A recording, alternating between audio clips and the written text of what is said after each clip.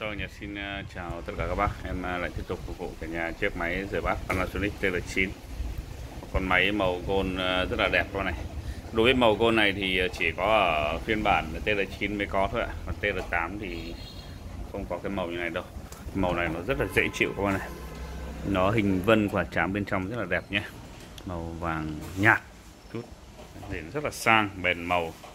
Màu này rất là sạch luôn các bạn này con này thì nguyên bản từ A đến Z luôn tất cả các hạng mục.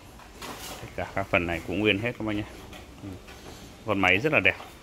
Em đánh giá nó là xuất sắc luôn đấy, đấy hai bên đầu hồi còn rất là ok. TR9 đời 2017 đời 2017 là cái đời cuối cùng của dòng TR rồi. Series máy nó 0647 nội ngoại thất cực đẹp luôn vâng chỉ các thứ nội thất rất là mới các bạn nhé.